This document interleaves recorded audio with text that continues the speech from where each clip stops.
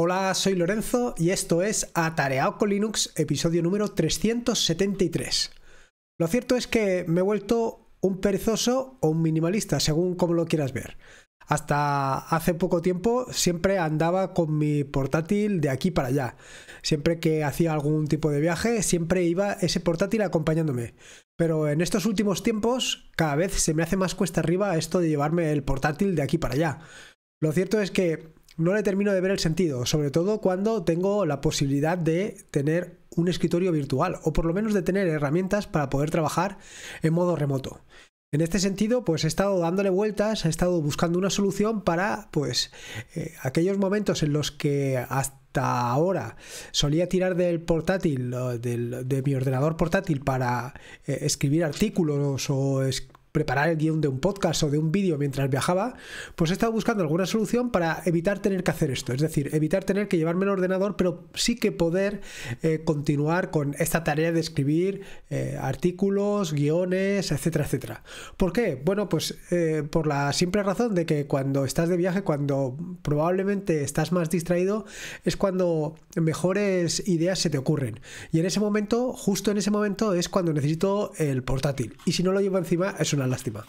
Pero claro, como te digo, últimamente me he vuelto un, un perezoso a la hora de llevarme el portátil. ¿Qué solución tengo? Bueno, pues la solución podría pasar incluso por llevarme una memoria USB con algún entorno de escritorio totalmente guardado en él. Pero como ya te comenté en el episodio 155 del podcast, que titulé Adiós memorias USB, lo cierto es que en pleno siglo XXI la verdad es que ir lidiando con memorias USB me parece completamente anacrónico. Teniendo la nube, ¿para qué tener que recurrir a memorias USB? Pero no tanto me refiero a la nube en el sentido de utilizar servicios de terceros, sino aprovechar todo lo que estamos viendo en este tutorial o en este conjunto de vídeos referentes a self-hosted y a la soberanía digital para tener tú la oportunidad de, de conseguir pues esa parte de nube que tú necesitas. No toda la nube, sino solamente aquellas herramientas o aquellos servicios que pues a ti te serán de gran utilidad. Así, en este último tiempo he estado investigando distintas herramientas para eh, resolver este problema. Pero como bien sabes, una de mis grandes pasiones o de mis grandes aficiones o de como lo quieras llamar es pasar todo el tiempo en la terminal. Soy consciente que hay gente que esto de la terminal, pues que ni con un palo. Pero al final, si estás todo el día en la terminal porque estás programando, porque estás desarrollando, porque estás haciendo actividades de cualquier tipo, o simplemente porque disfrutas en la terminal porque te has dado cuenta que es una herramienta totalmente productiva, pues la herramienta que te voy a contar hoy te va a venir que ni al pelo. Y además valga la redundancia con el tema de herramienta. Eh, lo cierto es que a mí esto de tomar notas en la terminal, que es precisamente de lo que te voy a hablar, me parece una solución espectacular, porque al final, como es el tiempo o como es allí donde más tiempo paso, eh, tener una opción para poder guardar allí las notas sin tener que salir a una interfaz gráfica o a otro tipo de herramienta para poder escribirlas, pues me viene muy bien. Y me viene muy bien por el hecho de que me permite eh, estar trabajando en el momento que se me ocurre algo, simplemente anotarlo o en el momento en que recuerdo algo que tengo anotado, poder consultarlo de una forma inmediata. Lo que me he dado cuenta es que uno de los problemas más graves que tengo, y supongo que tenemos todos, es la pérdida de información. Aquello de más vale un lápiz corto que una memoria larga, vamos, eso es un dicho que viene que ni pintado, en el sentido de que en muchas ocasiones se te ocurre una idea y simplemente por el hecho de no anotarla, eh, te olvidas. ¿Cuántas veces te habrá pasado aquello de eh, levantarte después de haber tenido un sueño y haber dicho, ostras, qué idea más fantástica se me ha ocurrido? Y por no no notarla, a las horas o las pocas horas, se te ha olvidado por completo. Pues esto también te puede pasar cuando estás trabajando, cuando estás, vaya, no es que te pueda pasar, es que seguro que te ha pasado en más de una ocasión. En más de una ocasión se te ha ocurrido una idea mientras estabas haciendo cualquier otra cosa y porque no la has anotado, pues la has perdido. Para solucionar este problema, el desarrollador, un desarrollador en concreto, el desarrollador que implementó Denote, eh, que se escribe de Note, eh, se le ocurrió pues una herramienta muy sencilla para tomar notas directamente en la terminal. Claro, esto dirán, bueno, pues abres rápidamente BIM, escribes lo que tengas que escribir y luego continúas. claro, esto tiene un pequeño inconveniente, que es la desorganización. Así, Denote, que es un desarrollador que durante un tiempo se dio cuenta de que eh, necesitaba una herramienta para realizar anotaciones, lo que hizo fue crear esto, una libreta para línea de comandos. Bueno, mejor dicho, se trata de una libreta de libretas, en el sentido de que son eh, un conjunto de libretas donde en cada una de las libretas tú vas dejando tus notas. Digamos que podrían llamarse en vez de libretas categorías pero están organizadas de esa manera. Dentro de cada libreta, pues tú tienes eh, todas las notas relativas a esa, em, a esa información, vaya. Esto era lo que buscaba prácticamente el desarrollador, una solución rápida, sencilla y efectiva. ¿Y con qué editor? Bueno, pues el editor lo pones tú. Simplemente tú eres el que eh, seleccionas el editor que quieres utilizar a la hora de eh, escribir las notas. A mí esto me viene perfecto, porque como ya sabes, mi editor por, defecto actualmente es NeoBeam, con lo cual simplemente tengo que utilizar o cada vez que quiero abrir o cada vez que quiero ver una nota, simplemente tengo que utilizar Denote y él me abrirá, editará o hará lo que tenga que hacer directamente en NeoBeam, con lo cual no tengo que aprender una nueva herramienta. Además es una aplicación relativamente sencilla, pero a la vez potente y está implementada en Go. Lo siguiente que te preguntas, o por lo menos que te vas a preguntar, es dónde están mis notas. Y aquí, pues lo cierto es que tengo una buena y una mala noticia. La mala noticia es que están en una base de datos. Y la buena es que esa base de datos es SQLite y que es relativamente sencilla de hackear. Es relativamente sencilla de, pues, ver su contenido, exportar su contenido o incluso importar contenido dentro de, de, la libreta. La cuestión, o de la base de datos, mejor dicho. La cuestión es que tampoco se trata de eso, simplemente que sabes que tienes ahí una herramienta relativamente sencilla con la cual vas a poder exportar todas tus notas como es. De hecho, en las notas del podcast te dejo una pequeña eh, un pequeño script implementado en Python en el que te indico cómo puedes extraer todas tus notas de una forma relativamente sencilla. O sea que por esa parte, bueno, pues tiene sus ventajas. Otra de las ventajas que tiene es que todo esto es texto plano. Bueno, realmente eh, la idea con la que lo hizo el desarrollador es para que trabajes en Markdown y así lo verás. Pero lo podrías hacer en cualquier otro eh, formato. De hecho, otra de las grandes ventajas de todo esto es que al final, si lo escribes en Markdown, utilizando cualquier plantilla de látex, lo puedes pasar perfectamente a PDF con un resultado fantástico.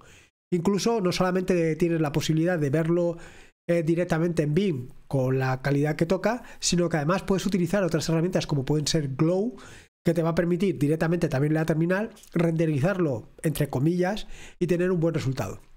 Sobre la instalación, la instalación es súper sencilla, pero sencilla, sencilla a más no poder. Simplemente lo único que tienes que hacer, tanto en Linux como en MacOS, porque se trata de una herramienta multiplataforma, es ejecutar el script que te dejo en las notas del podcast para que veas cómo se tiene que hacer. Súper sencillo, ya verás. Un curl y lo tienes instalado de inmediato. Una vez instalado, sí que te digo que tienes que modificar el archivo de configuración para realizar las sincronizaciones, según te contaré a continuación. Y de la misma manera en las notas del podcast te dejo donde se encuentra el archivo de configuración. Respecto al uso y funcionamiento de la aplicación, bueno, pues como te digo, Denote es súper sencilla simplemente tiene pues una decena de eh, comandos con los que trabajar. Así, simplemente para añadir una nueva nota, add. Para editar una nota, edit. Para encontrar una nota, find. Para mostrar la ayuda, help.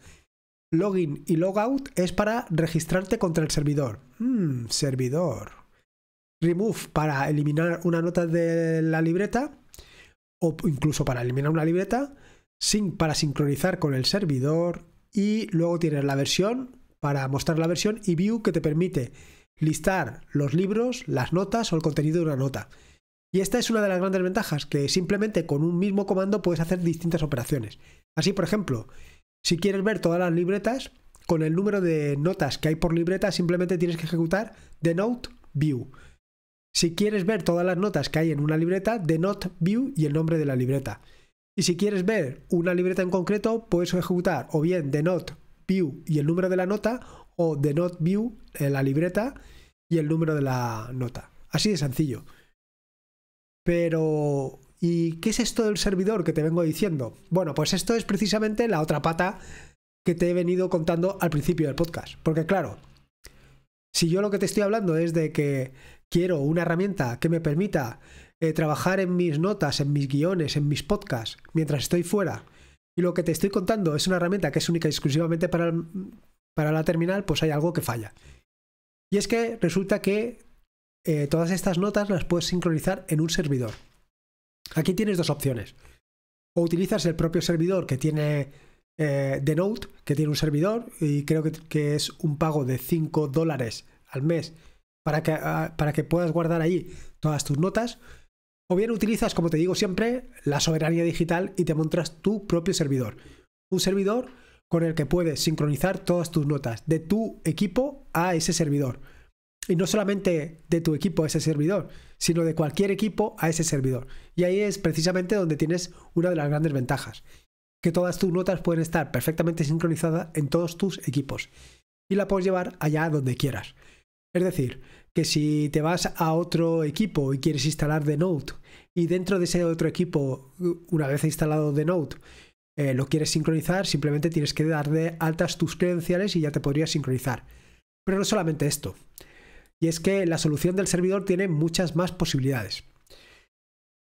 Claro, sobre todo, y lo más importante es eliminar la necesidad de utilizar USB. ¿Para qué utilizar USB cuando tus datos ya están todos en la nube? Y ya están todos en la nube eh, con la solución que quieras. O bien directamente en una Raspberry, en tu propia Raspberry, o bien, si quieres, en un VPS. Yo actualmente lo tengo alojado en mi VPS y estoy encantado, porque la verdad es que la solución es brutal. Si optas por esta solución, la solución de levantar tu servidor, decirte que te permite sincronizar tantos dispositivos como tú quieras. La interfaz web es responsive, es adaptativa y está diseñada para eh, o utilizando el concepto mobile first. Puedes tener tantas libretas como quieras, igual que tantas notas como quieras, y te permite compartir cada una de las notas con quien tú quieras. Es decir, no solamente puedes eh, editar tus notas, no solamente puedes ver tus notas, sino además puedes compartirlas con otras personas con simplemente pasarles un enlace. Con ese enlace ya podrían acceder a esa nota y ver su contenido. Y por último, dentro de las características del servidor, además tienes la posibilidad de acceder vía REST API. Lo cierto es que yo durante estos últimos días he estado intentando trastear para ver si daba con el acceso a la, a la pero ha sido imposible. He probado todo tipo de endpoints y no, no, he conseguido dar con, el que toca. Respecto al uso del servidor, es súper sencillo, es como prácticamente igual que la aplicación, en el sentido de que es simple, sencilla y minimalista. Así, cuando entras, lo primero que te vas a encontrar es un listado de todas las notas ordenadas por fecha y un par de botones o un par de enlaces. Uno para crear una nueva nota o un nuevo libro eh, y otro para acceder a las distintas libretas que, tengas. Porque, bueno, cierto es que The Note les llama libros en vez de libretas, que le llamo yo. Pero creo que es mucho más acertado esta definición de libretas más que de libros. Si le das al botón de New, lo que te permite es crear una nueva, una nueva nota. Bueno, una nueva nota o una nueva libreta, como te digo. Y en el caso de que te dediques a crear una una nueva nota, lo que verás es que las notas se escriben en texto plano, pero en texto plano, plano, plano. Quiero decir que en la ventana de edición no vas a encontrar ni una barra para que te ayude a escribir, ni nada de nada. Simplemente es empezar a escribir y punto pelota, no hay nada más. La cosa es que eh, lo suyo es que lo escribas en Markdown, porque directamente el servidor te permite previsualizar cada una de las notas. Así que es fantástico. Simplemente escribes lo que tengas que escribir y una vez lo tengas escrito cambias de pestaña y ves el resultado. En mi caso particular, como ya te he contado en alguna que otra ocasión, lo cierto es que yo esta parte de la previsualización prácticamente no lo utilizo nunca. Tanto en el editor de texto, en BIM, eh, o en, mejor dicho en NeoBIM, como en cualquier otra solución, siempre he tirado a escribir directamente el código. Simplemente con ese medio formato que hace NeoBIM, en el que se resaltan las negritas y se le da las cursivas, yo tengo más que suficiente. Pero probablemente para alguien que no esté totalmente acostumbrado al uso de Markdown, sí que le gustaría tener la parte de la previsualización. Está en otra pestaña. Eso es un poco, un poco un, inconveniente, pero bueno, todo es cuestión de acostumbrarse. Respecto a las posibilidades de configuración del servidor, como te digo, esto es, vaya, tienen muy pocas. Sí que en el Docker File, bueno, perdón, en el Docker Compose puedes definir algunas opciones para el tema del envío de correos electrónicos. Y de hecho, eso es de las pocas posibilidades que te da este servidor para configurar.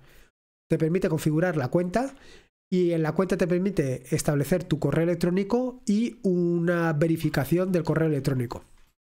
Y luego, por otro lado, te permite notificaciones. Esto de las notificaciones es bastante curioso porque lo que te permite es configurar algunas preferencias referente a qué tipo de notificaciones quieres.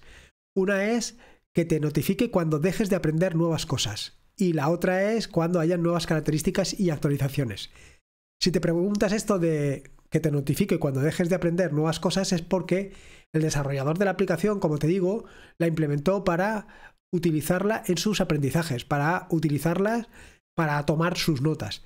De hecho, y te darás cuenta enseguida cuando la empieces a utilizar que es una herramienta que está pensada precisamente para eso, para que en un momento determinado estás en la terminal, estás haciendo lo que sea, puedas cambiar rápidamente, abrir una nueva nota, escribir lo que, es, lo que consideres y guardarla y seguir con tu trabajo.